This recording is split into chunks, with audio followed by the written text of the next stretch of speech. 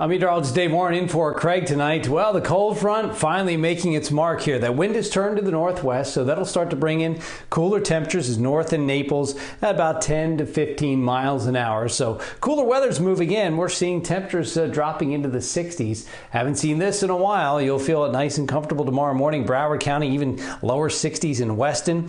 There are the mid 60s across Miami-Dade. Still right about 70 there in the Keys, but you'll notice it's a little cooler tomorrow tomorrow morning. You have the moderate risk of rip currents, small craft. You want to use caution. Temperatures dropping into the lower 60s then only climbing into the 70s there. So a little cooler air is moving in. Uh, now the cold front came through this morning, showers around uh, Broward through Miami-Dade, maybe even an isolated thunderstorm, but they've all moved off the coast.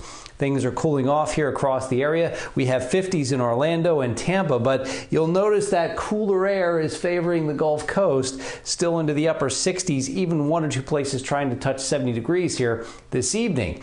Uh, now, we do have that breeze turning to the northwest, but the front's becoming stationary. It's what's happening here. It's a little different from your standard cold front where you wake up, it's a little cool, and you get the bright sunshine. Not the case tomorrow because of this area of low pressure. Temperatures will be into the 60s right along the coast. It'll be in the 70s tomorrow morning.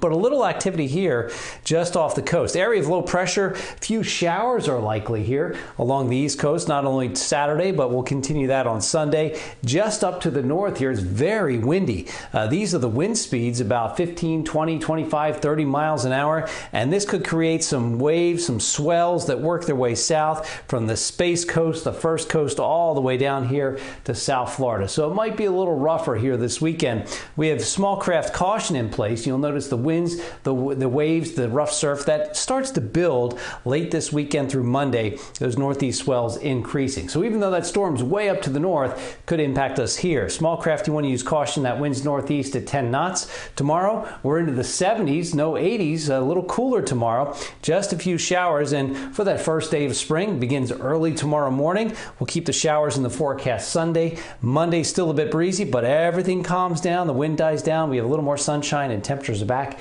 into the mid 80s Wednesday, Thursday, and Friday. CBS 4 News tonight. We'll be right back.